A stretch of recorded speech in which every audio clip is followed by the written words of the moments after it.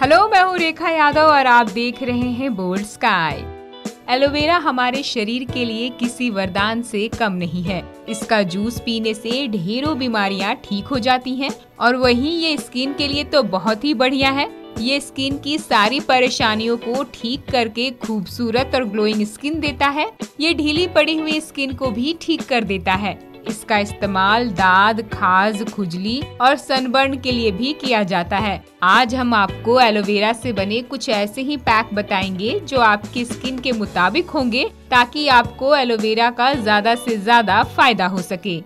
अगर आपकी गोरी रंगत है तो आप एक चम्मच एलोवेरा जेल, एक चम्मच मलाई और चुटकी भर हल्दी अच्छी तरह मिला लें। फिर इस पेस्ट को पूरे चेहरे और गर्दन पर लगाएँ। आधे घंटे बाद इसे धो लें। ये पैक चेहरे की रंगत को निखारता है। ड्राई स्किन वाले एलोवेरा जेल और एक चम्मच बादाम का तेल मिलाकर इसका पेस्ट अपने चेहरे पर लगाएँ और 15 मिनट बाद धो लें। इससे ड्राई स्किन सॉफ्ट हो जाती है। ऑयली स्किन वालों के लिए एलोवेरा जेल किसी औषधि से कम नहीं है। आप इसका पैक बनाने के लिए एलोवेरा जेल में एक चम्मच शहद मिलाकर पेस्ट तैयार कर ले।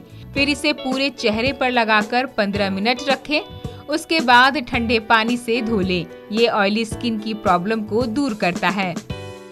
सेंसिटिव स्किन वाले लोगों को कोई भी चीज़ जल्दी सूट नहीं करती। उन्हें एलर्जी की समस्या जल्दी हो जाती है। ऐसे में यदि आप एक चम्मच एलोवेरा जेल में एक चम्मच खीरे का रस, एक चम्मच दही मिलाकर चेहरे पर लगाएँ और 10 मिनट बाद धो लें तो आपकी स्किन एकदम फ्रेश हो जाएगी।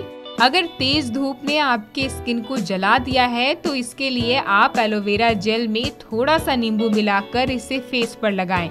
इससे टैनिंग खत्म हो जाएगी और सनबर्न में आराम इस्तेमाल करें और अधिक से अधिक इसका फ़ायदा उठाएँ। उम्मीद है आपको ये ब्यूटी टिप्स अच्छे लगे होंगे ऐसे ही टिप्स के लिए जुड़े रहिए बोल्ड स्काई के साथ और हमें लाइक और सब्सक्राइब ज़रूर करिए